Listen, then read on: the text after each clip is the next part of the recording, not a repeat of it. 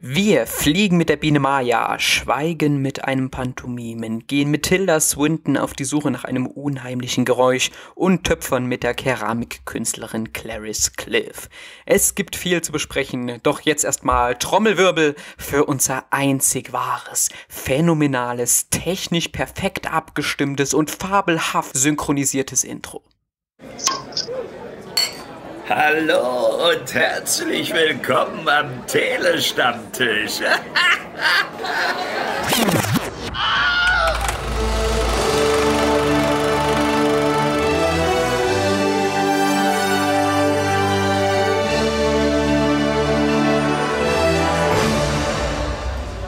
Und damit auch von mir ein herzliches Willkommen zu einer weiteren Ausgabe, in der wir mal wieder eine ganze Menge Filme am Start haben, die jetzt auf den ersten Blick nicht den allergrößten Bass haben. Mein Name ist Paul und ich werde mir nach und nach ein paar unserer RedakteurInnen hinzuholen, mal live, mal über Einspieler und mit solchen fangen wir diese Ausgabe auch gleich an, denn zum wohl größten Neustart in dieser Ausgabe zu Dr. Strange wird es eine separate Besprechung geben. Da sind die PV-Termine nämlich sehr, sehr knapp an den Kinostart äh, angesetzt worden.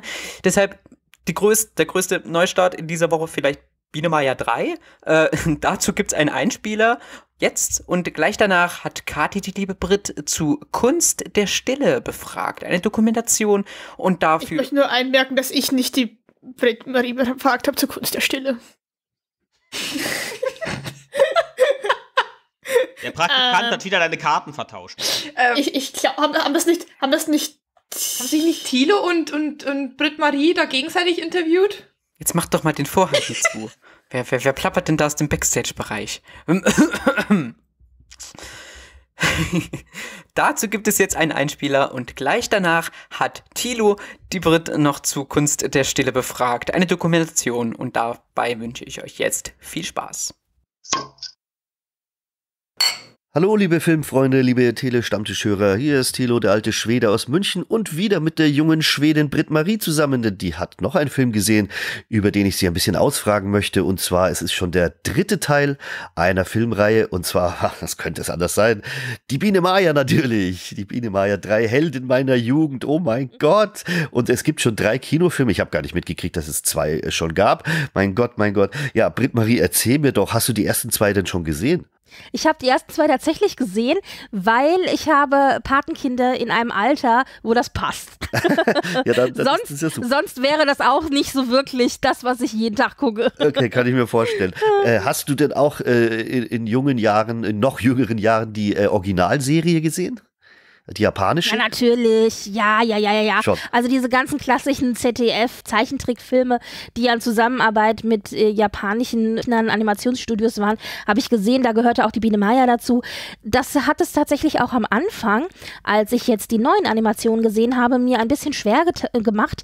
Denn die neue Art des, ich sage jetzt Animierens, die ist ja schon ein bisschen anders. Es ist ja nicht dieses klassische Zeichnen, das wir so kennen aus den 80ern, also nicht das Zeichentrick, sondern die Animation ist jetzt schon moderner, wird wahrscheinlich, denke ich, auch am Computer komplett gemacht, mhm.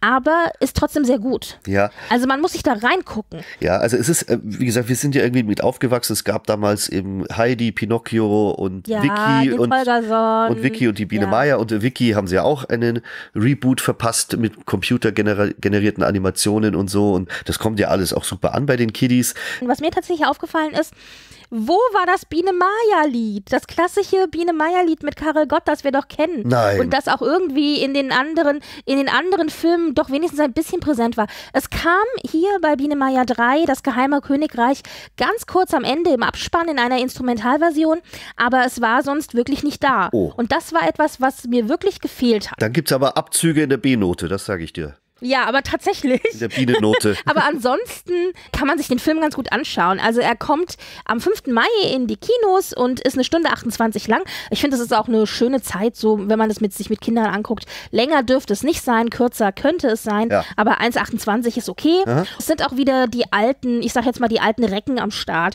Alex Stadermann, der hat auch schon Biene Meier 1 und 2 gemacht, führt hier wieder Regie, zusammen mit Noel Cleary, der auch an Biene Meier 1 schon gearbeitet hat. Also hier sind wieder die bekannten Leute ins Boot geholt worden. Und äh, das Ganze ist eine deutsch-australische Produktion. Oh.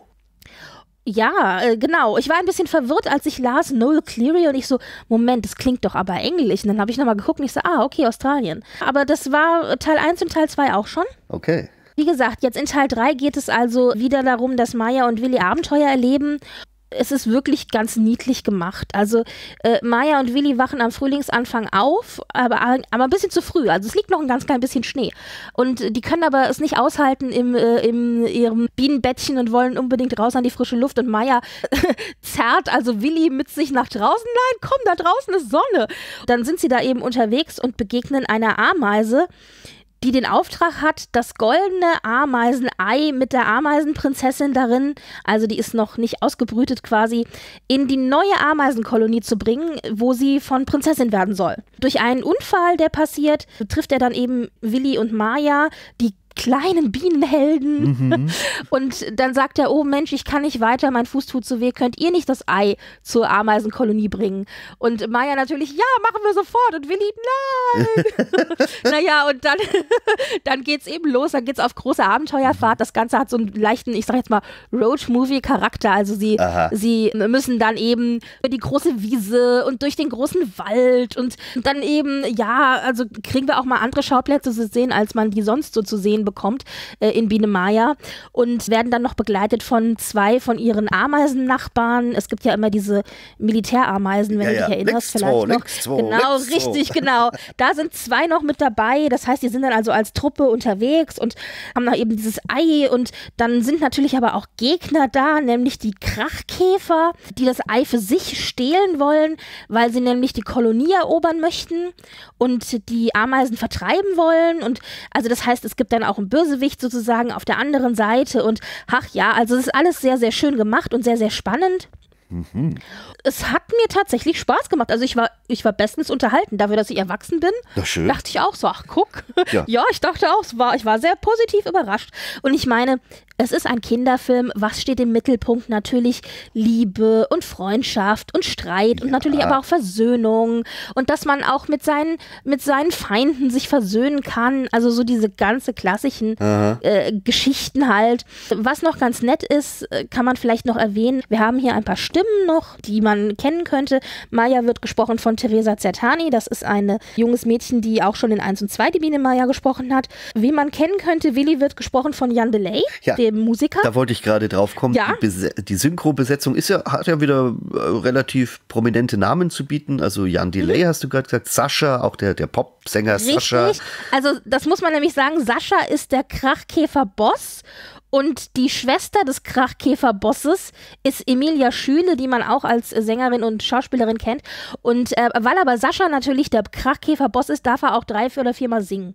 Oh. Also wir haben dann auch so drei, vier Songs, die dann noch mit reingestreut werden. Ach, es sind Gott sei Dank nicht, es sind nicht zu viele Songs. Mich hat als Kind immer furchtbar, mich hat als Kind immer furchtbar genervt, wenn in den Filmen plötzlich gesungen wurde. Ich weiß nicht, wie es dir geht.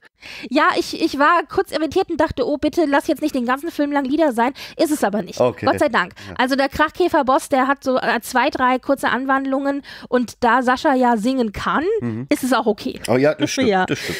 Was vielleicht noch ein bisschen schade ist, äh, es gibt äh, also wie gesagt einen kleinen Abzug in der B-Note, weil wir das klassische Biene-Meier-Lied ja. äh, nicht wirklich zu hören kriegen. Das geht nicht. Und es gibt auch noch einen kleinen weiteren Abzug, nämlich die klassischen Nebenfiguren, die man so kennt, also Flip der Grashüpfer und Fräulein Cassandra, also die quasi Bienenbetreuerin, ja. Bienenlehrerin von Maya und Willi. Das sind ja immer so die zwei Figuren, die auch immer überall mit auftauchen. Die tauchen hier zwar ganz kurz auf, aber die haben gefühlt eine Minute oder so oh. Bildzeit. Also die sind nicht wirklich, ja, irgendwie spielen nicht wirklich eine Rolle in der Story.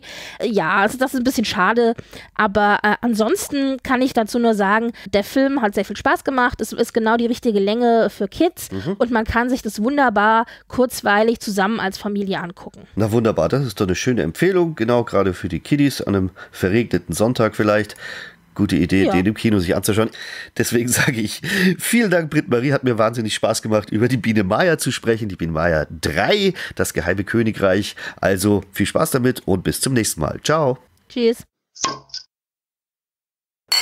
Hallo, liebe Filmfreunde, liebe Tele-Stammtischhörer. Hier ist wieder Thilo, der alte Schwede aus München. Und ja, der alte Schwede ist auch nicht alleine, sondern ich habe auch eine junge Schwedin dabei, und zwar die Britt Marie. Grüße dich.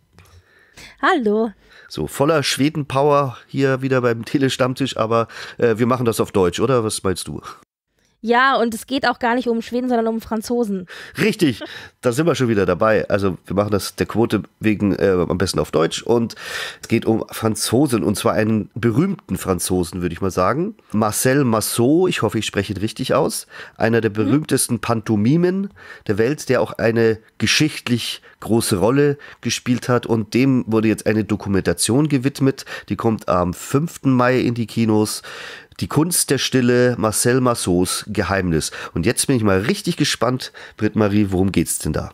Ja, also es entbehrt nicht einer gewissen Ironie, dass der Film Kunst der Stille heißt und auch genau diese Kunst darstellt. Denn man fragt sich, wie kann sozusagen eine Geschichte mit dem Leitmotiv Stille transportiert werden. Aber das funktioniert wunderbar.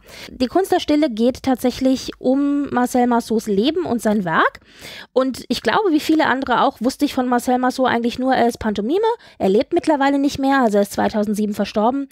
Und ich kannte halt seine Kunstfigur, also der traurige Clown, Bip, ähm, mit dem weiß geschminkten Gesicht und eben diesem Ringelhemd und dieser weißen, ja, so eine Art Latzhose und dann hat er immer noch diesen zerbeulten Seidenhut mit der roten Blume. Also das ist so diese klassische pantomimische Kunstfigur von Marcel Marceau.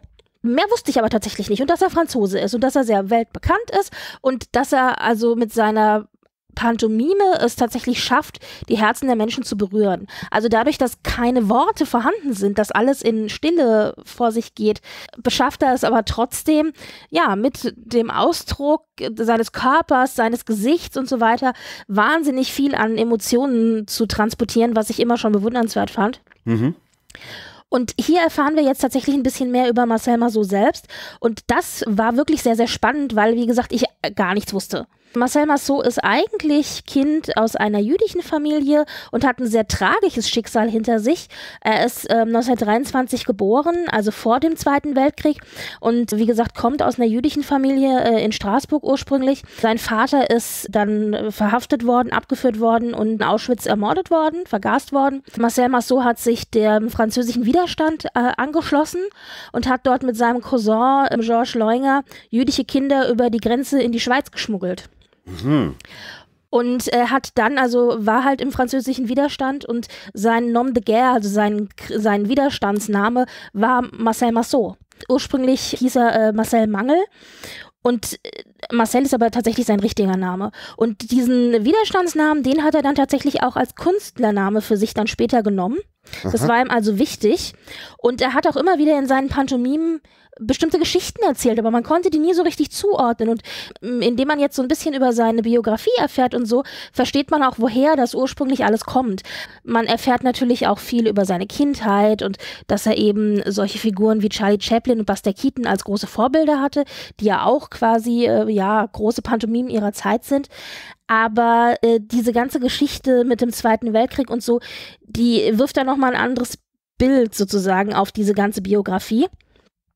Interessant auch da, weil nämlich die Kinder, die dann in die Schweiz geschmuggelt werden mussten, nicht sprechen durften. Also sie mussten stillhalten und teilweise sind dann eben auch äh, Nazis zugestiegen, also Militär im Zug und so weiter. Es war alles sehr, sehr gefährlich.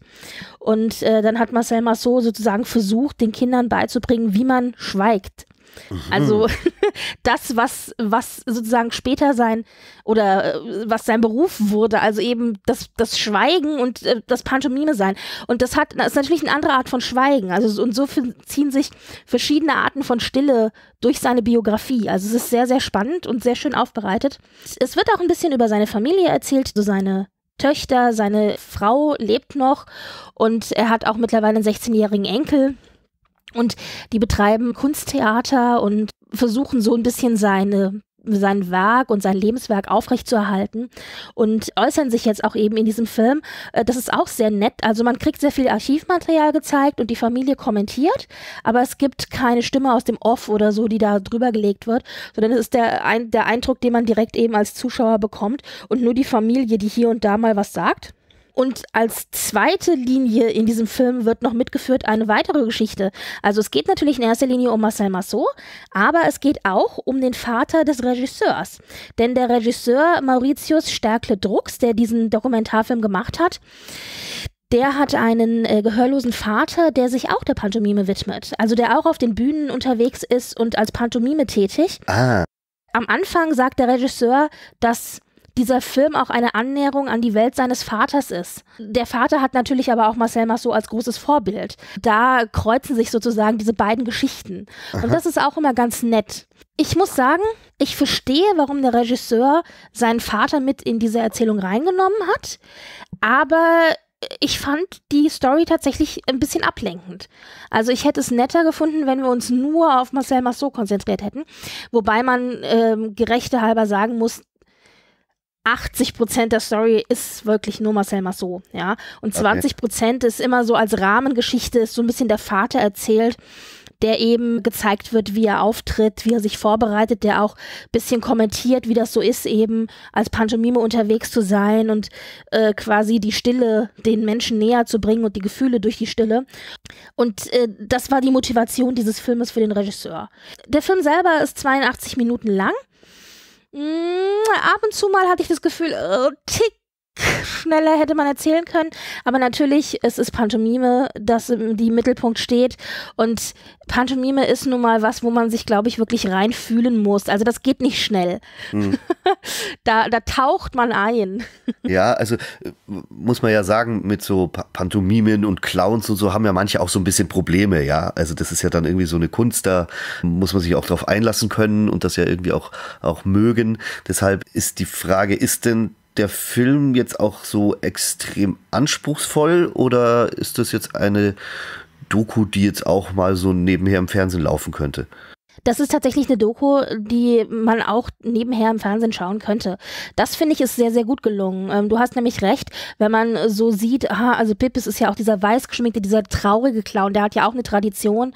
Und, und auch, äh, wenn man so an das alte Griechenland denkt oder so, weißt du, mit diesen Masken, mit dem Lachen und dem Weinen und so. Aha. Und das sind ja alles so Dinge, die, die sind so schwer und anstrengend. Und auf der anderen Seite haben wir dann einen Charlie Chaplin oder einen Buster Keaton, der ja eigentlich diese Hahaha-Ecke äh, ja. bedient bedient. Ja. Und ich finde, dieser Film schafft es ganz gut, da die Grenzen aufzumachen und zu sagen, Leute, guckt her, es ist beides in dieser Figur drinne und es nimmt so ein bisschen sozusagen die Angst vor diesem Schweren, was Pantomime angeht, weg. Und das finde ich, hat Derkle Drucks wirklich gut hinbekommen. Okay. Und es ist ja jetzt auch nicht, auch nicht jetzt wirklich ein, ein leicht verdaubares Thema, würde ich mal sagen, ne? Ja, aber wie gesagt, ich fand es sehr, sehr spannend, weil ich über Marcel Masso so gar nichts wusste. Und äh, ich hätte diesen Hintergrund auch nicht erwartet, muss ich dir ganz ehrlich sagen. Deswegen war das dann nochmal wirklich interessant. Und äh, ich habe mir als Stichwort hier noch aufgeschrieben und ich glaube, das fasst es vielleicht ganz gut zusammen. Es ist ein wortloser Film, aber kein sprachloser Film. Ach, das ist doch mal ein schönes Fazit, würde ich sagen. Und ja, abschließend, den Film kannst du anscheinend weiterempfehlen, wenn ich das richtig ausgehört habe. Auf jeden Fall. Man muss Dokumentarfilme an sich mögen, sonst ist es, denke ich, weniger was für einen. Aber grundsätzlich äh, hat mir das wirklich gut gefallen und ich kann es euch ans Herz legen. Dann vielen Dank, Britt-Marie. Und jetzt bin ich auch neugierig geworden und werde vielleicht mir auch der Kunst der Pantomime widmen. Danke.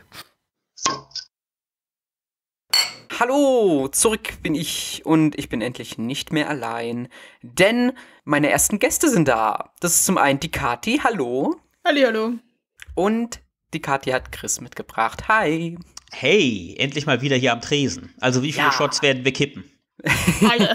werden sie alle kippen. Perfekt. Ich dachte, ihr habt euch schon äh, im Backstage-Bereich ein bisschen äh, aufgewärmt. Ähm, jetzt erstmal vollste Konzentration auf das, äh, was wir jetzt vorhaben, denn okay, ihr beide beziehungsweise sogar wir drei, um ehrlich zu sein, haben einen Film gesehen, der ebenfalls am 5. Mai 2022 in den deutschen Kinos startet. Er trägt den Titel Sun Children. Es ist der neue Film von Majid Majidi und wenn er schon einmal hier ist, denn dafür ist er hier beim Telestammtisch bekannt. Chris, worum geht es in diesem Film? Wir befinden uns in Teheran. Da schlägt sich der zwölfjährige Ali eher schlecht als recht durchs Leben.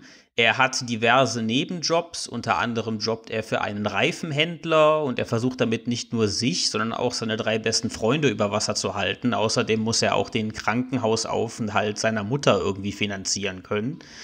In der Schule läuft es auch nicht so gut, denn die Schule bekommt die Mittel gestrichen und obwohl sie einen sehr, sehr engagierten Direktor haben, kann er auch nicht immer dafür sorgen, dass die Schule geöffnet bleibt.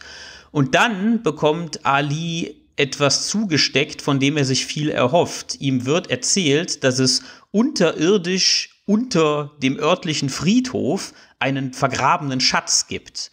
Und der einzige Weg dorthin ist unter der Schule im Keller anfangen zu graben, um sich dann den Weg dorthin zu graben, äh, wodurch man an den Schatz gelangen kann. Und Ali macht sich auch sofort auf, dieses Vorhaben in die Tat umzusetzen, doch es kommt zu Problematiken mit Mitschülern, mit Eltern und eigentlich mit allen anderen Personen, die irgendwie in die Schule involviert sind. Yep, genau. Ja, wie ihr hört, äh, stehen auch in diesem Film, äh, der Regisseur hat so vor, solche Filme gemacht wie Kinder des Himmels oder auch Die Farben des Paradieses und da standen auch schon Kinder und Jugendliche im Vordergrund und das ist auch hier der Fall. Hm, ich muss aber auch ganz vorneweg sagen, dass dieser Film mich vor allen Dingen auch, ähm, ja, erstmal mit seiner Intensität, die er manchmal an den Tag legt, überrascht hat. Kati, wie ging es dir da? Ja, also der ist halt alles andere als irgendwie viel oder so. Man könnte sich so denken, ja, das sind super Kinder, die erleben da ein Abenteuer, was auch immer, aber nein. Also, der zeigt so wirklich die harte Brutalität auf, wie es halt ist, wenn man Kinderarbeit betreiben muss, um sich halt irgendwie was zu halten, weil der Vater nicht mehr da ist und die Mutter im Krankenhaus liegt und man halt eigentlich keine andere Möglichkeit hat, als entweder illegale Sachen zu machen oder halt zu arbeiten und dann ist, ist mit Schule halt auch nicht so und ja, dass auch jede Hoffnung, die dann irgendwie auch durch diesen, ich glaube, als Vizedirektor, der sich irgendwie um die Kinder dann doch kümmert, aufkommt, auch schnell einfach wieder zunichte gemacht werden kann. Und das ist alles sehr hoffnungslos. Wie siehst du das, Chris? Ja, ganz genauso. Es fängt schon ziemlich heftig an mit dem ja. Ton, der da gesetzt wird. Du siehst die Kinder bei einer Straftat, wie sie praktisch eben Autos leerräumen wollen. Und dann geht das wirklich nahtlos so weiter. Sie haben diese Jobs bei diesem Autohändler, der sie wie Dreck behandelt. Sie kommen in die Schule. Ihr schulischer Alltag ist geprägt von Gewalt und Hoffnungslosigkeit. Und dieser vorher schon erwähnte Direktor, der ist so der einzige Schimmer der Hoffnung der, der sich der wirklich. Direktor halt, oder? Also, genau. der Direktor an sich ist ja auch nicht gerade der. Ja. Und der ist so der Einzige, der versucht, den Kindern was zu bieten, der versucht, äh, der sich auch ihre Probleme anhört, der auch engagiert ist, wenn es darum geht, dass die Schule die Mittel bekommt, die sie unbedingt braucht. Und es ist wirklich, ich mag diesen Begriff nicht, weil das hat so was Herablassendes und es hat auch so was Zynisches, aber das ist schon irgendwo ein Armutsporno, wenn ich damit den Film auch nicht herablassend einstufen möchte. Ich, äh, das war sehr, sehr authentisch und es macht einem mal wieder klar, dass man in der westlichen Welt ja nun mal wirklich ähm, auf der Sonnenseite des Lebens befind sich befindet. Mhm. Ich fand ihn, ha, er, er widersetzt sich teilweise so vollkommen nüchtern oder so vollkommen authentischen Beobachtungen, hatte ich das Gefühl. Ich habe äh, zum Beispiel auch aus dem Iran, wo ist das Haus meines Freundes oder auch zuletzt äh, The Apple Day, die, die kamen da nochmal eine ganze Spur authentischer. Bei dem hatte ich manchmal das Gefühl, auch dieses, dieses Storypunkt quasi mit dieser Schatzkarte oder so, das hat schon so einen kleinen, so einen Abenteuerhauch oder so, ein, so, so einen märchenhaften Hauch, auch wenn das hier was gezeigt wird, äh, also wenn dann natürlich auch nichts erspart wird, denn dieser Film packt so viele Problempunkte an, die, die, Abwesenheit der Mutter, dann die Kindergang, dann die, die Schwarzarbeit, dann der Zugang zur Bildung. Dieser Film übernimmt sich manchmal bei seinen Themen ein bisschen und hat dann lieber solche sehr aussagekräftigen Szenen, die da erhöht er dann auch mal, wie soll ich sagen, die Musik oder da überdramatisiert er das mal ein bisschen und da macht er das, also versteht ihr, was ich meine? Da trägt er manchmal ein bisschen sehr dick auf. Ja, er hat schon Momente, die herausstechen sollen. Da legt der Regisseur schon darauf Wert, dass es erkennbare Höhepunkte gibt. Ähm, ich fand aber schon die Fülle an Problemen, die wir hier sehen, die hat eigentlich schon was zum unerträglichen, ähm, authent zur unerträglichen, authentischen Schilderung mhm. des Alltags dieser Kinder beigetragen. Weil da ist nun mal alles auf einmal. Da ist die Armut, da ist das brutale Umfeld, das sich einen Dreck für sie interessiert. Und da sind trotz allem natürlich auch die rassistischen Konflikte. Das ist alles da und ich fand nicht, dass der Film dadurch irgendwie überladen wirkte, ähm, dass das alles vorhanden war. Es zeigte halt eindeutig, dass das Problem der, der schreckliche Alltag dieser Kinder wird nicht nur durch ein Problem, sondern traurigerweise durch einen mhm. Haufen Probleme definiert. Ja, das stimmt. Aber er, Entschuldigung, äh, aber er versucht es ja dann, also diese kraftvollen äh, äh, Appelle oder auch diese Symbolakte, die er da mal in die, also diese Höhepunkte, die der Film da einstreut, die sind dann halt nicht genug, um sich auch mit diesen Themen wirklich tiefsinnig auseinanderzusetzen, sondern er. Ja, ich weiß auch gar nicht, ob das irgendwie die Intention wäre. Also ich nehme mal an, auch weil es halt Kinderdarstellungen so sind, dass der Film halt eher für ein vielleicht jüngeres Publikum eigentlich gerichtet ist und vielleicht ist es einfach mal gescheiter, einfach mal zu zeigen, okay, das sind alles die Probleme, wenn du das erste Mal damit so konfrontiert wirst ähm, und das auch gar nicht der Sinn ist, da dann tiefer hineinzugehen, einfach zu sagen, okay, schau, so kann es in anderen, so geht es in anderen Ländern zu, so geht es Kindern in anderen Ländern, die haben das und das und das an Problemen, die, mit die sich du, über die du vielleicht keine Gedanken gemacht hast. Und deswegen finde ich das gar nicht so einfach mhm. als, als Einstieg klingt jetzt blöd, einfach mal zu zeigen, was, was für Fülle an Problemen es da gibt, um sich einfach mal mit diesem Thema vertraut zu machen. Ja, andererseits ähm, zeigt man dann halt hier bestimmte Szenen, wo man, also wo man dann als erwachsener Zuschauer denkt, ja, so einfach sind die Probleme dann halt nicht zu bewältigen, wie sie jetzt vielleicht hier für einen äh, Höhepunktmoment äh, jetzt gezeigt werden. Ja, ich gebe dir da schon recht. Er geht psychologisch nicht sonderlich in die Tiefe. Ist natürlich die Frage, ob er das vorhatte. Also der, der Regisseur, ich habe seine andere Arbeit nicht gesehen, wo er sich ja auch mit dem Thema auseinandergesetzt hat. Aber den, der Kurs, den er hier fährt, der ist schon wirklich frontal ins Gesicht. Ja. So sieht's aus. Subtil, das, das ist nicht sein Ding. Das hat er hier auch gar nicht vor. Ja. Okay. Gut. Äh ich weiß gar nicht, ob wir noch sehr viel mehr äh, dazu anfügen wollen. Ihr könnt gerne jetzt noch die äh, Dinge ergänzen, die euch noch so im Kopf rumschwirren. Also ich glaube, viel mehr habe ich nicht wirklich zu sagen. Ich finde, man sollte den auf jeden Fall mal schauen, um einfach, um sich einfach mit der Thematik noch mal mehr vertraut zu machen und zu sehen, wie beschissen es in anderen Ländern zugeht. Und ja, ja also ich finde, das ist ein wichtiger Film und das sollte man einfach mal gesehen haben von der Thematik her er hat auch auf jeden Fall äh, seine, also in seiner Intensität und in seiner Appellkraft, also hat er, zeigt er durchaus Wirkung auf äh, seine ja. Zuschauer, würde ich sagen. Auf jeden Fall. Ja, da kann ich mich dann auch nur anschließen. Und bei der Punktevergabe, ja, es ist ein wirklich kraftvolles Stück Kino, ein aufrüttelndes Stück Kino, das, äh, wenn man sich mit diesen Gegenden beschäftigen möchte, will, dann sollte man den schon wählen. Der gibt einem da schon die passenden Einblicke, wenn er auch eben alles auf einmal zeigt und bei bestimmten Themen nicht weiter in die Tiefe geht, aber trotzdem die Einblicke, die er gibt, die sind authentisch. Ich gebe 3,5 von 5. Mhm. Okay. Kathi, wollen wir es auch noch ranhängen oder? äh, ich brauche keine Punktewertung geben, wenn du nicht magst. Äh, ja, ich wäre, glaube ich, ein kleines Stückchen drunter, äh, aber auch nicht viel wer daran Interesse, vielleicht noch als, wir haben es am Anfang erwähnt, das ist jetzt kein Film, ist kein Familienfilm für die Kleinsten, weil er hat schon ja. wirklich ein paar Dinge, die dann, ja, vielleicht dann eher von größeren Kindern so ab 10, 12 da angesehen werden können. Gut. Äh, danke an dich, Chris. Natürlich auch danke an Kati, aber erstmal danke an Chris, denn der darf jetzt schon wieder hinter das, äh, hinter den großen Vorhang schreiten und dort äh, sich am Telestammtisch-Buffet bedienen. Oh ja. Es gibt Rippchen, habe ich gehört. Okay. Ist uns noch was übrig? Auf keinen Fall. Das ist das Gute bei einem schnellen Abgang. Okay, danke euch allen und noch viel Spaß bei der weiteren Show. Alles Ciao. klar, danke. danke. Tschüss. Ciao. Ja, wir haben gleich noch einen weiteren Gast dabei, mit dem wir dann gemeinsam über den Film sprechen, auf den ich mich diese Woche am meisten gefreut habe, nämlich Memoria. Oh.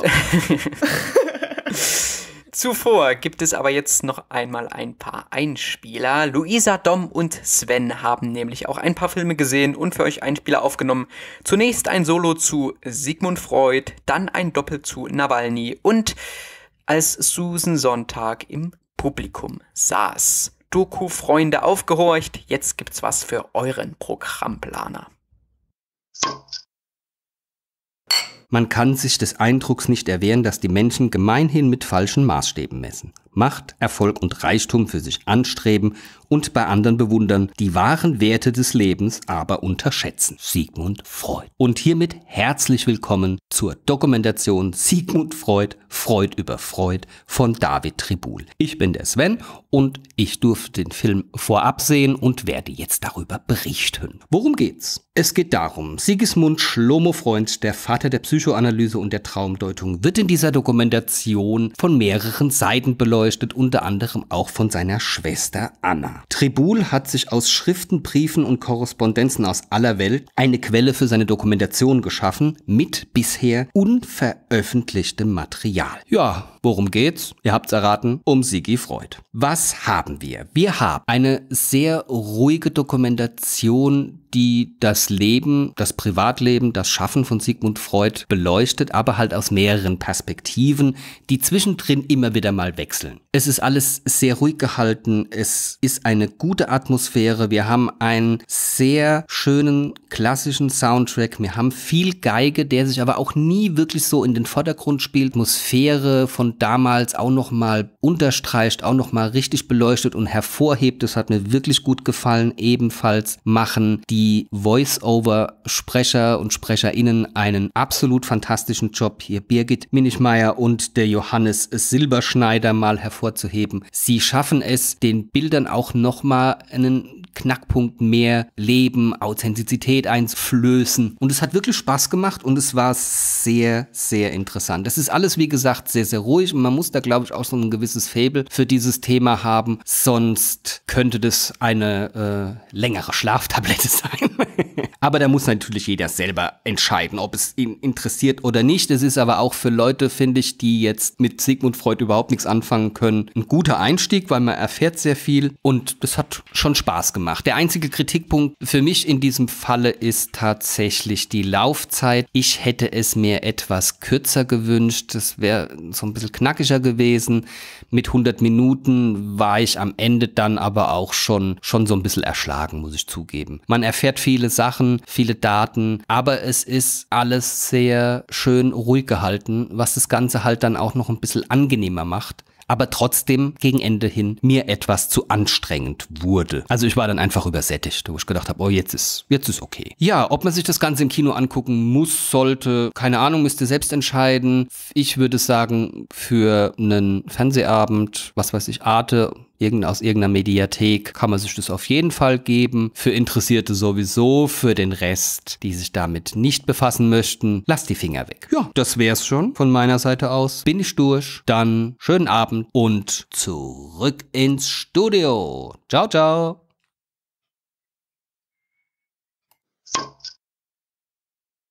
Nicht erst seit dem völkerrechtswidrigen Angriffskrieg in der Ukraine richten sich weltweit die Blicke nach Moskau. Denn bereits im Sommer 2020 erregte der Giftanschlag auf den Oppositionspolitiker Alexei Nawalny weltweite Aufmerksamkeit. Nun arbeitet eine Dokumentation, die ursprünglich schon auf dem Toronto Film Festival lief und äh, dann von HBO Max und CNN eingekauft wurde, das Ganze auf. Und wir hatten die Möglichkeit, sie im Vorhinein zu besprechen. Und wer sind wir? Zum einen ich, der Dom, und der Sven ist bei mir. Hi. Hallo. Ja, ich bin ehrlich gesagt überrascht, dass sie sogar ins Fernsehen kommen, weil so HBO Max, da hatte ich eher gedacht, die landet äh, bei Sky in erster Linie. Aber kommt jetzt wegen der aktuellen Umstände hier ins Kino. In den USA gab es ja tatsächlich sogar eine Sonderaktion, wo es dann auch eine politische Diskussion gab. Äh, ja, Sven, magst du vielleicht so umreißen, womit wir es hier zu tun bekommen? Okay, im Grunde genommen hast du ja schon alles gesagt. Also die Dokumentation folgt Nawalny, dem russischen Oppositionellen, der im August 2020 ja Opfer dieses Attentats wurde.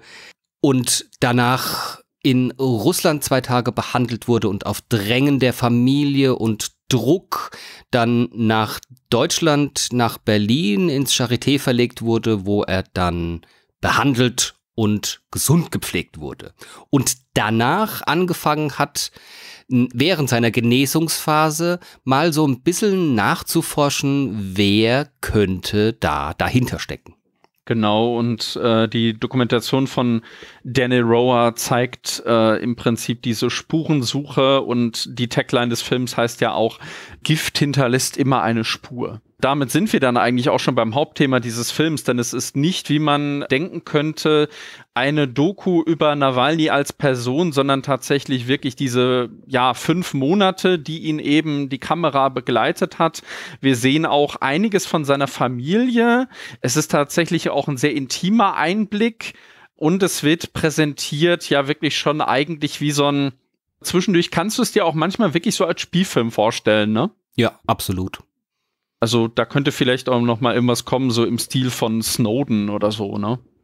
Ja, denke ich auch. Das ist halt ein, ein interessantes, also sehr interessantes Thema, das ja auch absolut äh, wahnsinnig verwoben ist mit anderen Attentaten, die ja auch bei uns stattfanden teilweise. Also die auch bei uns in Deutschland stattfanden, hier Berlin, Tiergarten und so.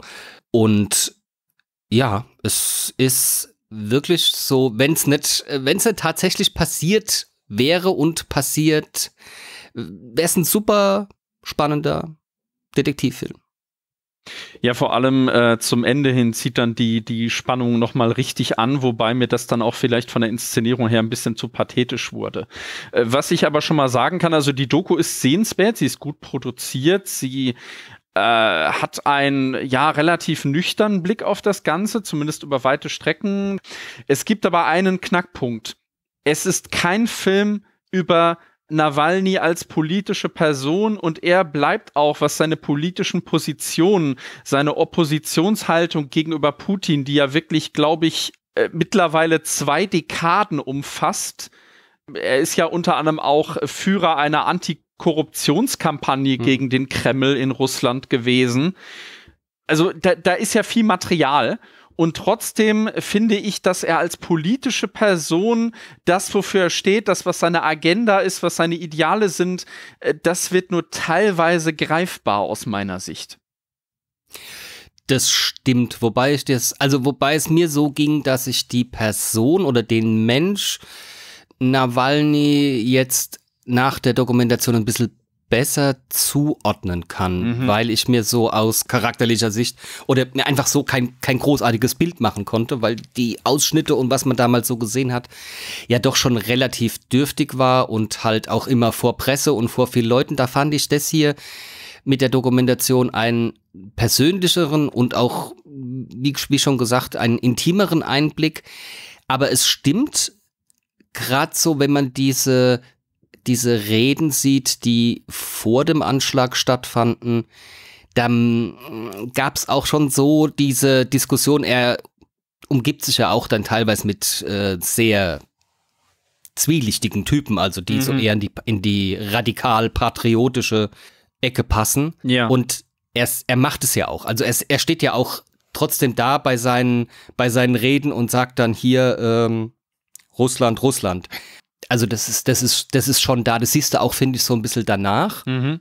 Aber der Film konzentriert sich ja natürlich, also fast nur auf, auf den Angriff und die, die Resultate daraus. Ja, so die Umstände einfach halt, ne, wie er dann eben äh, ja mit seiner Familie zusammen auf Spurensuche geht, mit seinem Team, gekrönt dann von dieser Szene, äh, die ja damals tatsächlich auch äh, äh massenhaft im Internet gestreamt wurde äh, ja, wie er tatsächlich sich als äh, Putinaher Berater ausgibt und dann telefonisch äh, denjenigen, die im Auftrag des FSB, also des äh, russischen Geheimdienstes, ihn erst ganze drei Jahre lang großflächig beschattet haben oder haben beschatten lassen und dann ja am Ende halt im äh, August 2020 reinen Tisch machen wollten, indem sie ihn eben mit dem äh, Nervengift äh, Novichok ja attackiert haben also fand ich wirklich stark atmosphärisch auch. Äh, also es ist für mich der Höhepunkt des Films, dieser Moment. Da merkt man aber auch, dass Nawalny durchaus jemand ist, jetzt zum Beispiel auch ähnlich wie Volodymyr Zelensky äh, in der Ukraine. Er ist Medienprofi. Also er weiß ganz genau, wie er sich verkaufen muss und auch wie er soziale Medien und Netzwerke und so weiter und so fort bespielen muss. Er bedient sich dann auch sowas wie TikTok beispielsweise, um eben auch seine Meinung und das Volk zu bringen, sowohl vor als auch nach dem Giftanschlag. Und das kommt hier tatsächlich sehr durch. Deshalb war ich an manchen Stellen so am Überlegen, kann ich diesen Mann einschätzen? Auf der anderen Seite muss man sagen, dass der für sich genommen schon eine wahnsinnig starke Präsenz hat. Ne? Wie er da mhm. sitzt und wirklich im sehr gut verständlichem Englisch kommuniziert, wie er rhetorische Mittel verwendet, wie er auch Humor einfließen lässt, auch ziemlich ein Galgenhumor. An einer Stelle meint er dann ja so trocken, ja Gott, also jemand vergiften, wie altbacken ist das denn? Also wenn, dann erschießt mich doch und gut ist, ne? das stimmt. Das fand ich auch sehr, mh, mm, ja, schon krass. Mhm. Aber im Endeffekt hat er recht, weil ich meine, man kriegt ja auch dann eine Dokumentation mit oder weiß es auch schon vorher, dass ja auch Politiker schon, ja, 200 Meter vom Kreml aus erschossen worden sind auf offener Straße. Also ja. das, die, da wird nicht gezögert, sondern da wird hingelangt und bei ihm haben sie da, ja, Gott sei Dank halt auch versagt. Was mich an der ganzen Sache gegen Ende, weil du das Ende schon angesprochen hast, so ein mhm. bisschen, das hat mich damals schon verwundert. Ich kann es verstehen, warum man sagt, ich gehe in mein Land zurück, um dort zu agieren, um dort zu protestieren, um dort sonst was zu machen. Aber ja, ich meine, es muss dir ja klar sein, dass du dann zack verhaftet wirst, zack in den Knast kommst und er sitzt ja da und sagt, er hat drauf gehofft, hm. dass er wenigstens einen Richter irgendwie sieht, aber die haben ja seinen seinen Prozess ja im Vorraum von dieser Polizeistation da abgezogen. Ja, ja. Und da guckt er immer noch ungläubig und dann denkt, und da sind so Sachen, wo ich mir denke, Kerle, ich absolut, ich ziehe meinen Hut vor dir, dass du das machst, aber clever war das nicht. Ja. Und einfach dieses, dieser, dieser, dieser ungläubige Blick, ey, die machen das jetzt hier einfach so. Äh, ja, natürlich, die wollten dich auch einfach so killen, ja. Ja. Das ist so das, was, was da, da habe ich so einen inneren Zwiespalt, wo ich denke, auf der einen Seite, klar, natürlich, Hut ab, auf der anderen Seite, naja, ich weiß nicht. Also, dich dann in einem Arbeitslager hier auf die Seite zu schaffen, ist eigentlich jetzt auch nicht großes Problem. Wobei ich mir denke, sie machen es jetzt natürlich nicht. Also, sie könnten es machen. Mhm. Äh, ich weiß es nicht. Nein, es ist schwer. Man kann sowieso jetzt nicht mehr groß irgendwie was einstufen und sagen, das könnte so und so passieren. Aber ja, wie gesagt, also ich wäre nicht zurückgegangen. Ich hätte von versucht, von außerhalb zu agieren. Er hat sich ja auch durchaus Zeit gelassen für seine Rückkehr. Ne? Also er war ja relativ lange hier in Deutschland, hat sich rehabilitiert. Hm. Äh, da wird ja auch viel von gezeigt. Das sind auch wirklich schöne Szenen, auch zwischen äh, ihm und seiner, seiner Frau. Oder äh, einmal sagt dann seine Tochter, äh, dass schon vor dem, vor der ganzen Giftanschlagnummer dass da mal irgendwie ein Moment in ihrer Jugend war, wo sie irgendwie ihr Abitur gemacht hat und ihr Vater konnte halt nicht da sein, weil er da auch schon im Knast war. Allerdings, was zum Beispiel völlig außen vor bleibt, und da sind wir halt wieder daran, dass es doch irgendwie relativ vage ist, was er schon so in Russland abgezogen hat. Also es wird zwar darauf verwiesen, dass er zum Beispiel auch einen YouTube-Kanal hatte, äh, mit dem er wirklich ja schon äh, investigative äh, journalistische Arbeit geleistet hat. Aber was äh, zum Beispiel nicht äh, so wirklich durchkommt, was er für eine Reizfigur ist für einige Russen. Also er ist auch selbst in den Oppo Reihen der Opposition ist er auch durchaus nicht unumstritten und es wurde auch schon öfter gemutmaßt, dass er auch eine Art gesteuerte Opposition sein könnte, weil er immer relativ äh, äh, milde Haftstrafen davon getragen hat in Relation zu anderen. Also es gab ja schon mehrere Giftanschläge oder auch ja öffentliche Hinrichtungen auf offener Straße, wie du gesagt hast also der, der Film, der streift es, äh, dass Nawalny durchaus auch eher dem, ja, rechtspolitisch konservativen Lager zugerechnet werden kann. Auf der anderen Seite hat er sich auch ein bisschen gewandelt mittlerweile. Und ich muss sagen, ich, ich, fand, ich fand diesen Schlusssatz von ihm tatsächlich sehr stark. Äh, das war ein Zitat, äh, mit dem äh, diese äh, Hitler-Aufstieg des Bösen Verfilmung beginnt. Der Triumph des Bösen ist, wenn die Guten nichts tun. Hm. Und das hat mich nochmal äh, deutlich zum Nachdenken gebracht. Also insgesamt kann man sagen, es ist eine gute, sehenswerte Doku. Allerdings muss man akzeptieren, dass, dass es nicht wirklich um die politische Person Nawalny geht. Ja, also sonderlich viel Neues erfährt man jetzt nicht, aber eben wie es gezeigt wird, wie die Vorgehensweise ist, auch wie es gefilmt ist teilweise, äh, hat schon gewisse Sprengkraft. Äh, ist jetzt so die Frage, äh, ob der Regisseur sich ausgemalt hat, als er den Film äh, abgedreht hatte und dass er den dann rausbringen würde in so einer dermaßen äh, momentan prekären weltpolitischen Lage, ne? Ja, nee, ist glaube ich auf keinen Fall. Aber es ist, ja, wie du schon sagst, ich fand ihn auch sehr interessant und man wird auch durch diese ganze Story, wenn man dann auch mehr erfahren will, praktisch dazu eingeladen, sich weiter zu informieren. Und da mhm. gibt es auch noch ein paar schöne Nachfolgedokumentationen, die man sich angucken kann. Also, das war schon sehr interessant. Ob man die jetzt im Kino sehen muss, sei mal dahingestellt, aber man kann sie definitiv empfehlen. Sie wird wahrscheinlich auch sehr, sehr schnell im Fernsehen landen. Ich bin gespannt, wo. Es ist gar nicht mal so tonnenschwere Kost, wie man denken würde. Es ist natürlich viel, viel mit Untertitel. Ich bin gespannt, ob es in Deutschland überhaupt synchronisiert wird. Ich gehe nicht davon aus. Nawalny könnt ihr ab dem 5. Mai in den deutschen Kinos sehen. Sven hat mich sehr gefreut. Gleichfalls. Nastrovje. Ciao. Hallo und herzlich willkommen. Mein Name ist Katja und ich habe mir die liebe Luise geschnappt. Hi. Hallo. Weil du hast den Dokumentarfilm als Susan Sonntag im Publikum saß gesehen. Magst du kurz mal zusammenfassen, um was der handelt? Genau, und zwar 50 Jahre nach der Debatte in der New York Town Hall, die heißt A Dialogue on Women's Liberation und da kann man schon mal so ein bisschen die Richtung erahnen. Es geht tatsächlich um Feminismus vor 50 Jahren. Da hat Norman Mailer, ein relativ bekannter Journalist und Schriftsteller, mehrere ja, Feministinnen bzw. Schriftstellerinnen, Publizistinnen eingeladen zu einer großen Debatte in der New York Town Hall. Und im Grunde ist es jetzt eigentlich ein Dokumentarfilm, der sagen wir mal, sehr, sehr unüblich ist, weil der geht einfach nur hin und sagt keine Ausschnitte aus der Debatte, sondern hat einfach nur verschiedene Schauspieler genommen und mit denen dann im Grunde diese Debatte nachgespielt. Tatsächlich auch hier und da einige Kommentare von den Schauspielern selbst mit eingebracht. Also bestimmte Positionen, die verschiedene Schriftsteller vertreten oder Schriftstellerinnen vertreten haben. Und dann die Schauspieler haben dann einfach über diese bestimmten Positionen noch mal ein bisschen kommentiert, diskutiert, wie zum Beispiel die heutige Situation dahingehend sind zu den verschiedenen Positionen, wie sich das alles entwickelt hat.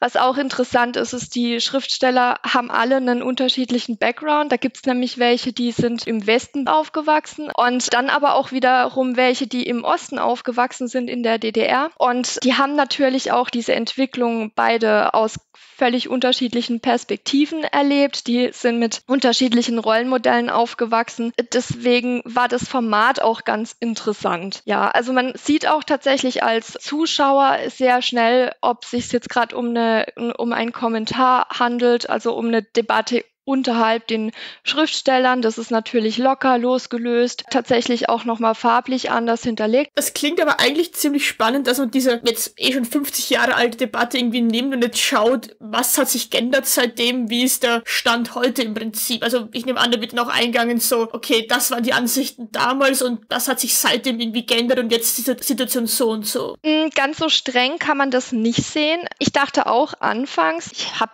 ich habe einfach die Doku erst erstmal auf mich wirken lassen, war dann erstmal so ein bisschen überfahren, habe dann kurz die Dokumentation nochmal halt pausiert und nachgelesen, wie ich die jetzt genau zu sehen habe. Und ja, sie haben weniger darüber gesprochen, wie es heute konkret eigentlich aussieht, sondern wie sie die Situation heute eher empfinden. Also es ging weniger hauptsächlich um Fakten, sondern viel um Empfinden, viel über das eigene Bild, was sich äh, über die Jahre hinweg aufgebaut hat. Und das fand ich eigentlich ganz spannend, weil einfach viel Meinung reingebracht wurde, aber wenig, wenige fundierte Fakten. Also ja, man denkt sich so, ah ja, hm, mit, mit der Meinung, mit der Ansicht kann ich da schon so ein bisschen einhergehen. Ich weiß, woher die Position gerade kommt, aber Fakten wird man da ja eher nicht so finden in dem Ausmaß. Okay, aber ich meine, das ist keine Fakt, ich nehme schon an, dass ihre Meinung schon irgendwie dann begründet ist und nicht einfach nur so, ja, ich denke das, sondern ich nehme schon an, dass es irgendwie dann auf irgendwas beruht, die Natürlich. Empfindungen oder die haben sie auf Erlebnissen oder was auch immer. Genau, da gehen sie halt auch viel auf Erlebtes ein oder auch auf Gefühle, die,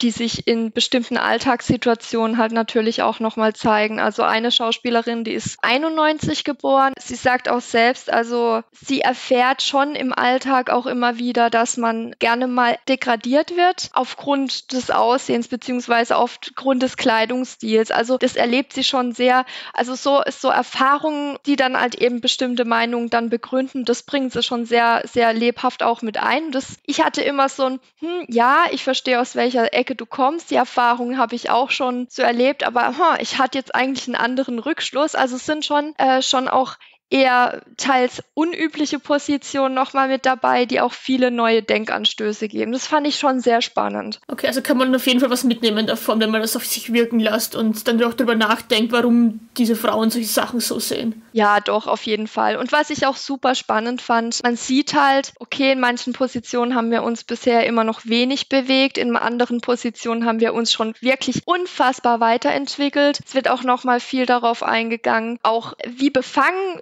Männer heutzutage in ihrer Rolle sind und woher das vielleicht kommen könnte. Und ähm, also man geht nicht nur auf die Position der Frau ein, geht auch nochmal sehr stark darauf ein, wie die Befreiung der Frau heutzutage denn aus sieht oder aussehen könnte und dass wir halt viel stärker mehr von diesem, diesem Haupt, also Hauptsache, wir können die Frau befreien, Fokus weggegangen sind, sondern mehr auf dieses, also wenn man da eine bessere Bedingung für beide schafft, diese Gleichheit, also nicht im direkten biologischen Sinne, sondern im Alltagssinne, dann wird es auch der ganzen Gesellschaft zugutekommen. Also da sieht man halt auch schon, wie sich Feminismus und welche Fragen sich da nochmal sehr stark woanders hinbewegt haben. Und das ist super schön, weil dann sieht man halt auch, dass, dass sich einfach auch schon viel getan hat. Kann ich auch absolut empfehlen für alle, die sich mit dem Thema Feminismus gerne mal auseinandersetzen wollen. Vielleicht auch mal fernab von der aktuellen Bubble, dass man halt einfach mal den ganzen Weg wieder so ein bisschen geht und mitzieht und miterlebt und sieht, welche Debatten sind denn früher überhaupt gefahren worden. Von dem her kann ich nur sagen, es hat mich ziemlich überrascht. Ich war von dem ganzen Dokumentarstil extrem überrollt, aber ich bin sehr froh, dass ich mich darauf eingelassen habe, weil ich sehr viel mitgenommen habe für mich, ja. Das ist doch ein schöner Abschluss. Dann bedanke ich mich ganz herzlich bei dir für deinen Einblick in diese doch etwas ungewöhnliche Doku und wir hören uns dann beim nächsten Mal. Ciao.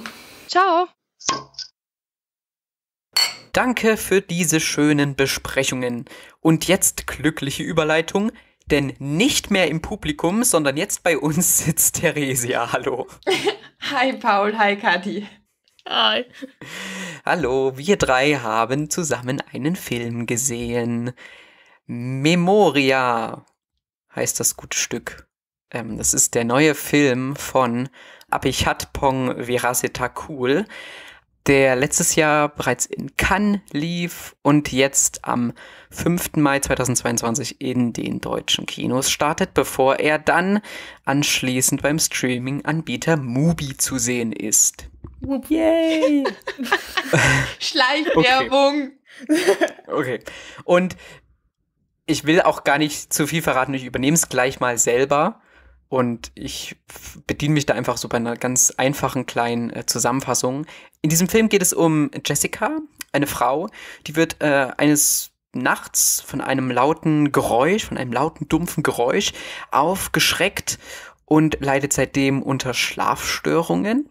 Und dieses Geräusch beginnt sie zu verfolgen. Und irgendwann will sie ja doch diesem Geräusch mal auf den Grund gehen und gucken, woher kommt das eigentlich? Und das ist jetzt ganz, ganz, ganz einfach ausgedrückt. Wobei, ja, um viel mehr geht's eigentlich doch nicht. Ja, das stimmt, aber es tut sich trotzdem sehr viel, was ich nicht verstanden habe. ja, es, ja, stimmt, es, es reiht sich manchmal Szene um Szene, die sich mir nicht so ganz erschlossen hat, das also, muss ich zugeben. Das, das ist mal ein falsches Statement. Es tut sich nicht viel und ich habe es trotzdem nicht verstanden. Das ist, glaube ich, die richtige Beschreibung. Ja, also was man auf jeden Fall wissen sollte, bevor man sich Memoria anguckt, äh, ist, dass der Regisseur für seine oder vor allen Dingen für, das, äh, für sein Slow Cinema bekannt ist. Der hat zuvor zum Beispiel gemacht, äh, Onkel Bonamy erinnert sich an seine früheren Leben. Den gibt's by the way gerade bei Art in der Mediathek. Ähm, der ist auch schon so. Also es ist, es hat was sehr Meditatives, was sehr, sehr Entschleunigtes, was sehr, sehr Ruhiges und das ist Memoria auch. Und wer schon Schwierigkeiten hat, zu diesem Kino, zu diesem, zu dieser Art des Filmemachens Zugang zu finden, dem wird auch äh, Memoria, der immerhin über zwei Stunden geht, der äh, keines Besseren belehren, ja. ja ähm, also ich habe absolut nichts gegen langsame Filme, das stört mich gar nicht. Und das hat, also bei dem jetzt auch nicht, ich fand den, ich fand den super, aber wenn man das gar nicht ab kann, wenn sich Sachen sehr, sehr langsam entwickeln, wenn man so fünf Minuten einfach nur so Regen sieht, dann Eher nicht. Also ich muss zugeben, also ich bin jetzt nicht so der große Fan von sehr, sehr langsamen Filmen, ähm, aber der hat mich jetzt trotzdem irgendwie interessiert, weil ich ja die Geschichte an und für sich ja dann schon irgendwie interessant fand. Und ich hatte da weniger Probleme mit der Langsamkeit des Filmes, sondern mehr mit den mit dieser seltsamen Aneinanderreihung von diesen verschiedenen Szenen. Gut, ich habe da dann noch verstanden, dass sie halt mit dem Tontechniker versucht hat, das Geräusch zu imitieren oder herauszufinden, irgendwie wie was es sein könnte. Aber so ein, für mich so hat sich kein roter Faden der Geschichte irgendwie erschlossen. Also ging mir zumindest so und das hat mich jetzt mehr gestört als die, diese Langsamkeit an und für sich. Hm. Mm. Wir können jetzt natürlich jetzt hier nicht zu tief drauf eingehen, denke ich. Ja. Was für mich, also ich fand schon, dass es äh, so einzelne Begriffe oder natürlich auch das titelgebende Memoria, also das Erinnern, dass das hier in ganz vielen Szenen drin steckte und auch, mhm. äh, also zum, zum, zum Beispiel auch, es gibt diesen Tontechniker, den du äh, gerade erwähnt hast und der dann auch diesen Fremden, der dann dort am Ende auf tritt, die ja dieselbe Figur sind, nur einmal in jünger und einmal in älter, was mir auch erst äh, später aufgefallen ist. Ja, am Namen dann. Ich habe genau, beim Namen gemerkt, weil mir gedacht, das ist doch ja. hier der Tontechniker, ja. Ja, ja. Ähm, ich finde, ja, Memoria erzeugt irgendwie so einen ganz eigenen Sog. Äh, und das vor allem, also das ja auch durch seine Bilder, aber vor allen Dingen durch seine Soundkulisse. Denn ich finde, dass nicht nur das zentrale Geräusch, was ich auch wirklich eine sehr, sehr schöne Szene finde, wie sie da versuchen, akribisch dieses Geräusch nachzubilden. Ja. Mit so um, Filmdatenbanken und mhm. alles. Ja. Und es klingt wie, wie, wie, wie, mit, wie ein Ball, der Metallcontainer fahren, da versuchen sie das. Also ich finde diese, diese Beschreibung von diesen ja. Sounds, da generell alles, was mit, jetzt mit nicht mit Musik, aber einfach mit dem Produzieren von Sound zu tun hat, finde ich in dem ganzen Film total interessant. Ja. Auch, also wie ja. sie das versuchen zu reproduzieren und dann auch, wie sich weiterspinnt und so. Das finde ich einfach einen echt coolen Ansatz, den ich so, weil es geht jetzt nicht wirklich um Musik, sondern halt wirklich nur um bestimmte Sounds. Und das habe ich irgendwie so noch nie, den, den Fokus auf, in einem Film so auf nicht nur den Sound noch nie so gesehen. Das fand ich echt cool. Ich habe mal gedacht, ich finde es auch sehr schwierig, jetzt den, so einen Sound zu beschreiben. Mhm, also so wie sie es ja. gemacht hat. Also so quasi, ja, das ist wie eine große Betonkugel, die irgendwo in Metall platscht, was dann auch noch im Wasser ist und so weiter. Also das finde ich sau schwer, ähm, sich da eben an so einen Ton zu erinnern oder den dann auch noch ansatzweise zu beschreiben, wie es geklungen haben könnte. Ja. Ja, absolut. Ja. Und dann ist es nicht mehr nur dieser Ton, sondern auch, wie gesagt, Regen oder Straßenverkehr oder irgendein Knall oder Menschen, die sich da im Hintergrund genau. unterhalten oder so. Das ist, kommt, also auf Ton, der Ton spielt hier eine ganz wichtige Rolle und der ist fast äh, wirklich ebenbürtig mit den Bildern, die halt auch sehr unaufgeregt, aber auch sehr schön eingefangen sind. Und dann muss ich halt auch sagen, also mittendrin ist halt Tilda Swinton, die das Ganze hier fast in der One-Woman-Show. Also es gibt, wie gesagt, so ein paar Nebenfiguren, aber sie ist schon klar die Hauptfigur und die spielt das richtig toll, wie sie jedes Mal, wenn sie diesen Ton oder oftmals, wenn sie diesen Ton hört oder auch wenn sie da mit dem Tontechniker sitzt und dann erzeugt er so ein Geräusch, was nahe an dem ist, was sie hört, dann zusammenzuckt, das finde ich sehr, sehr beeindruckend. Ja, absolut. Mhm. Und was ich noch sagen wollte, weil die Therese vorher gemeint hat, dass sie das gestört hat, oder dass das Problem war, dass sie das nicht verstanden alles ineinander und sehen, dass es irgendwie zu konfus war. Ich möchte mir nicht anmaßen, diesen Film nur im Entferntesten verstanden zu haben. Aber ich würde sagen, mich hat das absolut nicht gestört. Ich habe dann irgendwann, war ich so in diesem, in diesem Flow von diesen Bildern und diesen, diesen Sounds drinnen, dass ich einfach alles akzeptiert was passiert und einfach so war, okay, das ist jetzt so. Ich werde das wahrscheinlich beim ersten Mal schauen nicht verstehen. Das ist vollkommen okay, weil das einfach gerade nur auf mich wirken lassen kann. Und das war irgendwie sehr schön. Mhm. Ich finde, wie gesagt, also für mich ist ein wirklich verknüpfendes Element ist so Erinnerung oder die Auseinandersetzung von Leben und Sterben, weil es irgendwie immer darum geht. Es geht hier um die, äh, sie, sie trifft ja auf die Archäologin zum Beispiel. Mhm. Ähm, sie ist auch äh, zurzeit, ich weiß gar nicht, ich glaube in Kolumbien unterwegs. Auch da kann man ja. verschiedene Sachen äh, reininterpretieren. Auch, äh, also man kann das sowohl auf einer historischen Ebene vielleicht deuten, vielleicht aber auch einfach aus einer persönlichen Ebene, aus ihrer Geschichte oder aus der Geschichte von dem Fremden oder was weiß ich, der, äh, den sie da begegnet. Äh, da fällt schon vieles mit rein und am Ende gibt's dann halt auch noch so Science-Fiction-Elemente, die ich jetzt ja. nicht weiter äh, voraus äh, Wie gesagt, möchte. maß mir nicht an, das Ding verstanden ja. zu haben, da war ich so, okay. Aber ich gut. fand zum, also ich fand zum Beispiel dass äh, mit der Einbindung dieser Science-Fiction-Elemente hat er sich so manchmal vor, ähm, vor so kompletten äh, spirituellem Kitsch irgendwie bewahrt, weil er es dann irgendwie noch Stimmt, auf einer ja. anderen Art und Weise erklären wollte oder eine Erklärung einfach angeboten hat. Nicht, dass der Film irgendwas erklären würde, aber er hat ja, zumindest ja, die Möglichkeit offen gelassen, hier, guckt, da. Stimmt, das man, kann, man kann das sehr viel selber reinbedienen und sagen, wie man es, es klingt blöd, aber man kann sich, man kann den Film eigentlich so verstehen, wie man es am liebsten hätte. Das, das klingt blöd, aber man, ja, kann man, sich so, man kann sich so entscheiden, was, was man da jetzt als die wahr oder die, die Erklärung ansieht dafür, für das, was passiert.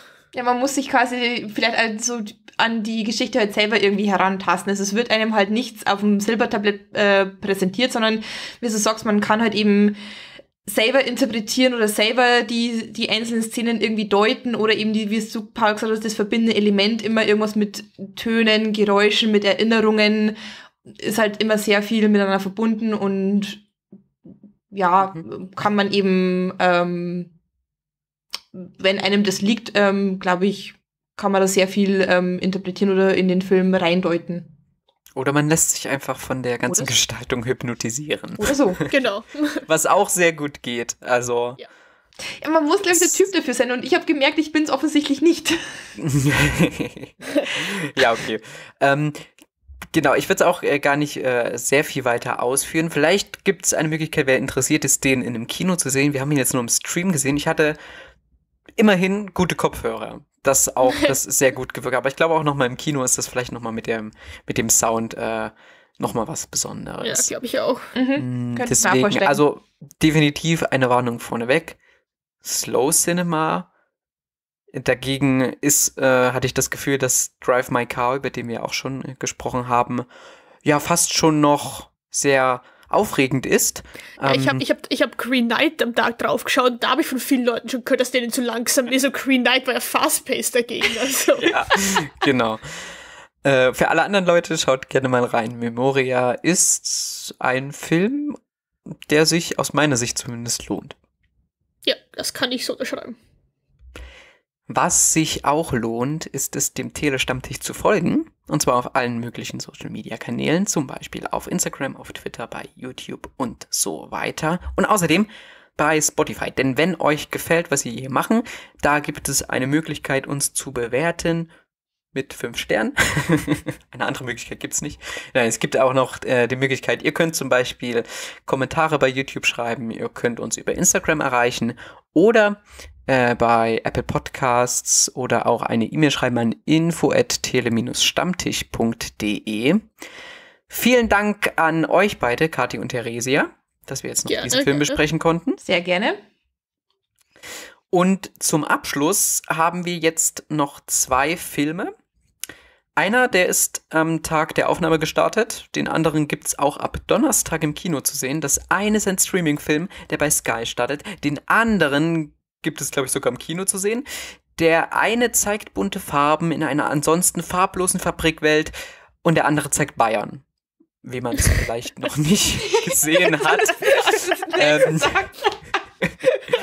ich sage auch schon einmal Tschüss äh, und wünsche euch jetzt noch viel Spaß beim Triple zu The Color Room und dem krönenden Abschluss Hopfen, Malz und Bier. In diesem Sinne Prost und bis zum nächsten Mal. Tschüss. Ciao. Herzlich willkommen zu einer neuen Aufnahme des Telestammtischs zusammen mit Luisa. Hallihallo. Und mit Till. Moin. Wir besprechen heute für euch den Film The Color Room, der ab dem 2. Mai auf Sky läuft und der 2021 entstanden ist. Er ist eine Stunde 48 lang und Regie für Claire McCarthy, die eher für TV-Filme und TV-Serien bekannt ist. Ja, und worum geht es in The Color Room? Wer von euch beiden mag uns ein bisschen was darüber erzählen? Ja, das kann ich fix machen. Das ist eigentlich relativ, relativ schnell erzählt. Es geht um Clarice Cliff, die träumt davon zu töpfern, arbeitet aber erstmal als, als Paintress, als, als Malerin, also nicht als Malerin, sondern die malt ähm, Porzellan- und Töpfersachen an. Ganz normal. Das hat meine Oma früher auch gemacht, kommen schöne Sachen bei raus. Das ist aber nicht das, was sie so erfüllt. Und im Endeffekt hat sie sich dann in einer Fabrik beworben, kriegt dort den Job in einer Töpferfabrik, in einer großen und versucht relativ schnell und relativ aggressiv irgendwie dahin zu gehen, dass sie selber töpfern darf und die Dinger dann eventuell auch verzieren und modellieren, allem Pipapo. Und das, ja, ist im Endeffekt eine Biografie, was soll ich sagen, sie schafft es. So, das ist kein Spoiler, das ist das, worum es geht. Und dann gibt es halt hier und da ein paar Problemchen und ein bisschen, ja, ein bisschen Herzschmerz, ein bisschen Emotionalität, aber ist alles recht geradlinig. So kann man zusammenfassen, glaube ich. Ja, genau. Also ich glaube, in erster Linie geht es echt um ihr künstlerisches Schaffen ja. und äh, ja, ein bisschen Soap-Elemente nebenbei, wie du so schön gesagt hast. Ja, genau. nur so ganz klein, genau. Es gibt halt so, es gibt so keinen richtigen Spannungsbogen. Man erlebt einfach so, wie sie sich da in der Männerwelt versucht zu behaupten. Mhm. Recht, recht dominant, versucht es zumindest, ja. Und wann spielt das Ganze? Äh, in den 20ern. In 20ern. Mhm. Ja, in England, genau, das habe ich nicht gesagt, genau. Sie kommt auch aus keiner reichen Familie oder so, ganz klein gehalten alles. Ja, das Interessante daran ist ja auch, man kann sich ja fragen, warum wird gerade just das Leben von Clarice Cliff oder äh, dieser Ausschnitt aus ihrem Leben denn überhaupt zum Film gemacht? Und das ist, weil ich glaube, mindestens mal jeder zweite britische Haushalt irgendwo von der Oma noch oder von, von der Mutter vielleicht auch sogar oder von der Urgroßmutter oder so ein Clarice Cliff Geschirr im Schrank stehen hat. Irgendwann wurde das dann zu einem, ja, zu einem äh, Basisgeschirr. Also das war alles sehr bunt und hat hat so ein bisschen auch den Art Deco-Stil in Großbritannien auch einer äh, großen Masse vorgestellt. Es war aber vor allen Dingen bunt und einladend und hat gute Laune verbreitet. Und die klassischen Geschirre, die man bis daher hatte, die waren eben nicht so. Also es war was ganz Neues. Und die Leute, die dafür zuständig waren, die Sachen zu produzieren, die haben ja auch nicht wirklich daran geglaubt, dass sowas erfolgreich werden konnte und haben eher konservativ produziert, sodass sie auch es gar nicht so leicht hatte, sich da durchzusetzen. Ja, und am Ende war sie dann eben doch doch erfolgreich. Und wie gesagt, fast jeder hat irgendwie so ein Geschirr in Großbritannien im Schrank stehen. In Deutschland war das übrigens auch sehr hm. populär eine Zeit lang. Und ich, deswegen ist überhaupt daraus ein Film gemacht worden, um zu zeigen, schaut her, Leute, das war die Biografie von der Frau, von der ihr alle Geschirr im Schrank stehen habt, sozusagen. Ja, sie hatte ja aber auch ein kleines bisschen diese Art des Vertriebs auf den Kopf gestellt. Ne? Früher wurden ja eher, sagen wir mal, die, die Köpfe des Haushalts, also die Männer angesprochen. Clarice Cliff hatte ja eher die Idee, naja, wir versuchen diese Vermarktung einmal über die na, wer, wer wäscht in, in so einem etablierten Haushalt das Geschirr? Entweder die Frau zu Hause oder deren Hausmädchen. Die Vermarktung hat dann tatsächlich von ihr sehr stark darauf abgezielt, eher tatsächlich die Frauen anzusprechen und die dazu zu bewegen, zu sehen, hey, ich habe wunderschöne, bunte Dinge, die euch ansprechen, die ein bisschen mehr Spaß in den Haushalt reinbringen, mit denen ihr auch ganz viel Vergnügen haben könnt und ihr könnt die kaufen geht, geht auf eure Männer zu, geht auf mich zu und das hat sie auch ganz gut gemacht. Deswegen hat sie ja auch so ein ganz schönes, nettes Team von Frauen um sich herum gehabt, die sie auch bei der Produktion ihrer, ihrer Kunstwerke sehr stark unterstützt haben. Und das war ja auch sehr interessant und auch ein kleines bisschen revolutionär für die Zeit. Also man hat sich ja vor allen Dingen eben auch an Männer in erster Linie gehalten, weil das diejenigen waren, die das Geld hatten. Also Richtig. Also Frauen haben ja in der Regel eigentlich selten ihren eigenen Lohn verdient, zumindest in dem Bereich, in dem man, in den Klassen, sage ich einmal, in dem man jetzt verkauft hat, zumindest ertragreich verkauft hat. Deswegen war das spannend und sie zielte also nicht nur auf das Publikum, sagen wir mal jetzt die Frau an sich, sondern natürlich aber auch auf niedrigere Klassen. Das heißt, das Geschirr musste einfach auch billiger sein als das, was man normalerweise verkauft hat. Ja, also es war einiges, was da auf den Kopf gestellt wurde. Da hast du schon recht, ja. Interessant fand ich, wie sie überhaupt an ihre Stelle kam, um, um dieses Geschirr entsprechend neu kolorieren zu können. Die haben eine Marge gehabt, die ist halt irgendwie in die Hose gegangen, konnten die aber auch nicht mehr an die Leute verkaufen in der Form, wie es eigentlich immer der Fall war. Clarice Cliff hatte diese wunderbare Idee zu sagen, hey, wenn ich die mit meinen tollen äh, Mustern und Farben anmal, dann fallen diese kleinen Produktionsfehler nicht mehr auf und wir können die günstiger an die Leute bringen. Das hat dann auch dazu geführt, dass es dann halt einen re regelrechten Boom in, dem, in der Branche gab. Hm, ich finde, das hat der Film alles ganz gut in anderthalb Stunden runtergebrochen. Wenn man wollte, hätte der auch so gut zwei, zweieinhalb Stunden gehen können. Und ich finde, so hat das alles, was, was man so weiß. Und ich habe mich nachher, beziehungsweise meine, meine Frau sich dann nachher noch ein bisschen über die Clarice Clip informiert. Hat alles so ganz gut gepasst, dass man das alles ganz gut mitschneiden konnte, ohne dass es zu lang gezogen wirkt. Ja, und 1,48 war auf den ersten Blick relativ kurz, aber ganz ehrlich, die meisten Filme früher hatten nur so, naja, eine Stunde 30, eine Stunde 40, also so ungewöhnlich ist es nicht. Und soweit ich weiß, ist es auch ursprünglich als TV-Film produziert worden. Also eben nicht fürs Kino. Was ich noch sagen wollte, vielleicht müssten wir noch zwei Namen hier kurz mal mit reinschmeißen, wenn wir jetzt schon sagen, sie war bei irgendeiner Firma, also sie hat angefangen bei Newport Pottery und ist dann zu Wedgwood. Und ich meine, Wedgwood, ja, das ist halt, also die Firma, welche in, in Großbritannien, die kennt man in Deutschland, kennt man die auch. Also die zwei Namen wollte ich gerade nochmal nennen. Für die Töpferfreunde unter uns. Ja, genau, natürlich. Ähm, ja, ich, ich habe da gar keine Ahnung, aber ja, Luxury Ceramics since 70, also 1759 sehe ich gerade. Ja, verrückt. Du und ich, wir hatten unseren Spaß, haben wir gerade festgestellt. Wie sieht's denn bei dir aus, Luisa? Wie hat's dir gefallen? Ich fand's erfrischend. Aus dem Grund, weil kein zusätzliches übermäßiges Drama hinzugedichtet wurde oder irgendwas als übermäßiges Drama konzentriert wurde, sondern sie haben einfach ihren Weg, ihre Probleme geschildert und aufgezeigt bis hin zu ihrem Erfolg und, und einfach ihre Schneidigkeit ist da super schön rausgekommen. Es, es gab, also es war kein derartiger Fokus auf irgendwelche krassen Liebschaften von vorne bis hinten. Da wurde nichts rum ausgeschlachtet. Es wurde einfach nur wirklich ein schöner Teil aus ihrem Leben gezeigt und das fand ich richtig klasse. Ja, super. Und Till, was würdest du sagen, für welches Publikum das ursprünglich so angedacht ist? Kann es sich jeder angucken? Oh, das ist eine schwierige Frage. Ich finde tatsächlich, es könnte sich tatsächlich fast jeder angucken, weil das ist ein Film, den ich mir nicht angeguckt hätte. Aber ich mich bewusst gesagt, bewusst gesagt, egal, ich, das sieht irgendwie interessant aus, guckst du es dir an, weil sowas guckst du dir sonst nicht an. Ja, und das kann sich, glaube ich, jeder angucken. Weil ich wäre so jemand, der dann weniger interessiert wäre. Und es hat mich dann doch positiv überrascht. Aber es wird natürlich nicht das Publikum haben, was es vielleicht verdient hätte. Ist jetzt kein überragender Film, aber vielleicht sehen es ein paar mehr. Nach unserer Empfehlung. Genau, denn, äh, genau. denn wir drei also haben alle drei Daumen hoch und deswegen, Leute, legen wir euch also The Color Room ans Herz auf Sky. Macht's gut, tschüss. tschüss. Ciao. Herzlich willkommen zu einer neuen Kritik des Telestammtischs zusammen mit Thilo. Hallo, grüße euch und mit mir, Britt-Marie. Und wir sprechen heute über den Film Hopfen, Malz und Blei, den Thilo sich angeschaut hat. Ja, du hast also den Film gesehen von 2021. Er ist eine Stunde 43 lang und Regie hat Mark Lohr geführt, den ich jetzt zugegebenermaßen nicht kannte. Ich habe gesehen, das ist sein dritter Spielfilm, den er gemacht hat.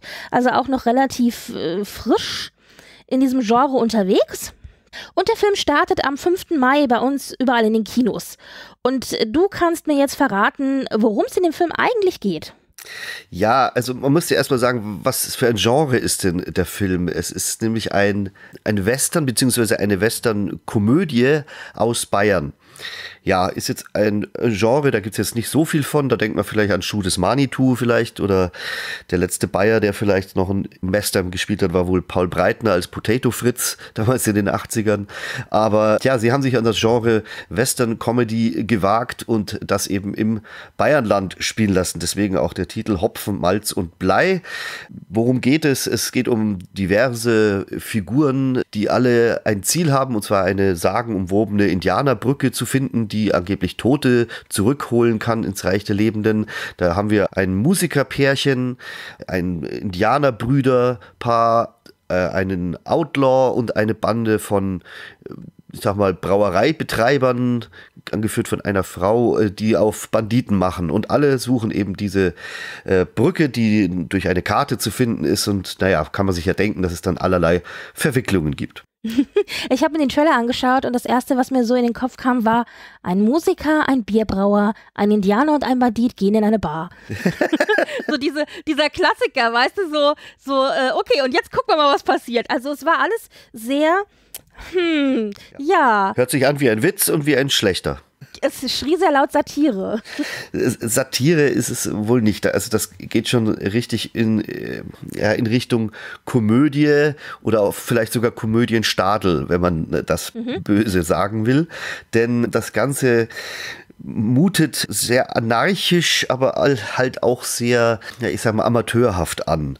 Als ich mir diesen Film ausgesucht habe, ich fand ihn einfach vom, vom Genre interessant, weil äh, Western aus Bayern, ja, wie gesagt, hat man jetzt nicht so oft man hat dem schon irgendwie angesehen, dass es jetzt keine Riesenproduktion mit wo viel Budget dahinter steckt, aber oft sind ja solche kleinen Filme, wo sich einfach Leute äh, zusammenraufen und sagen, hey, wir haben zwar wenig Geld, aber wir haben Bock, wir machen mal einfach so ein Blödsinn. Und das ist ja manchmal dann ganz witzig, was rauskommt, kann ja dann auch richtig kultig werden. In diesem Fall ist es leider nicht gelungen, muss ich äh, leider sagen. Also ich, ich wie gesagt, ich ziehe auch immer meinen Hut vor Leuten, die äh, sich dann so, sowas äh, annehmen und, und ein, eine Produktion auf die Beine stemmen, weil ich weiß, wie, wie schwierig es ist, Filme zu machen. Aber hier ging das Ganze leider völlig in die Hose. Ui, das ist aber harte Kritik. Schade eigentlich. Und das bedeutet, du würdest den Film also nicht wirklich weiterempfehlen.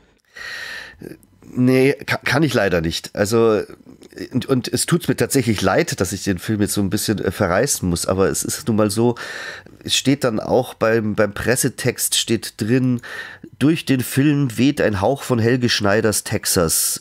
Und das stimmt sogar ein bisschen. Es ist so von der Machart jetzt nicht unähnlich, bloß ein, der ist halt ohne Helge Schneider und der Film Texas wäre ohne Helge Schneider auch nicht witzig.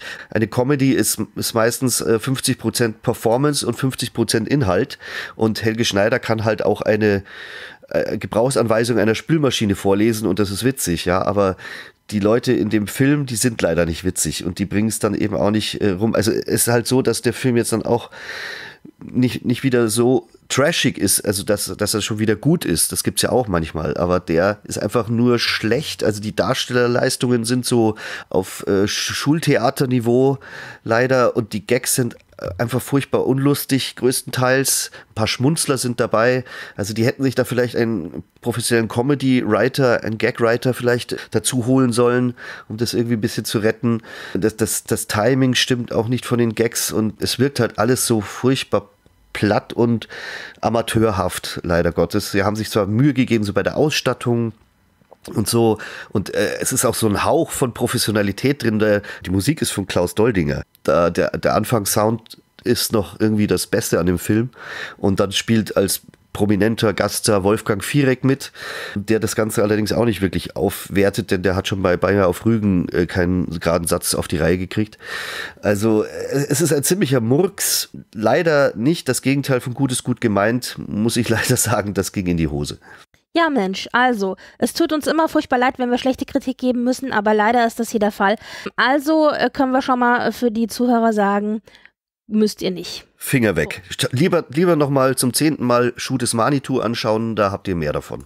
Aber vielleicht ist es für jüngere Zuschauer was. Also vielleicht so zwölfjährige, zehnjährige, vielleicht können die dem Film was abgewöhnen. Wunderbar, dann danke für die Kritik.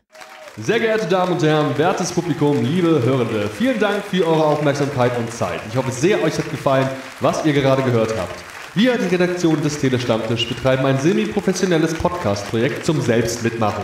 Also meldet euch bei uns, wir beißen auf. Außerdem freuen wir uns immer über Feedback via Social Media und E-Mail sowie euren finanziellen Support. Ebenso frohlocken wir förmlich über Bewertungen auf den gängigen Podcast-Plattformen. Wer möchte, darf uns gern immer und überall empfehlen. Alle relevanten Links findet ihr in den Show Notes. Vielen Dank und bis zum nächsten Mal. Euer Andi. Sehr geehrte Damen und Herren, wertes Publikum, liebe Hörende, vielen Dank für eure Aufmerksamkeit und Zeit. Ich hoffe sehr, euch hat gefallen, was ihr gerade gehört habt. Wir, die Redaktion des Telestammtisch, betreiben ein semi-professionelles Podcast-Projekt zum Selbstmitmachen. Also meldet euch bei uns, wir beißen auf. Außerdem freuen wir uns immer über Feedback via Social Media und E-Mail sowie euren finanziellen Support. Ebenso frohlocken wir förmlich über Bewertungen auf den gängigen Podcast-Plattformen. Wer möchte, darf uns gern immer und überall empfehlen. Alle relevanten Links findet ihr in den Show Notes. Vielen Dank und bis zum nächsten Mal. Euer Andi.